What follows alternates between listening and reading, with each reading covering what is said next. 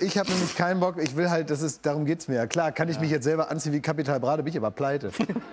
äh, ich möchte natürlich, dass Gucci mir das hinterherwirft, wie euch.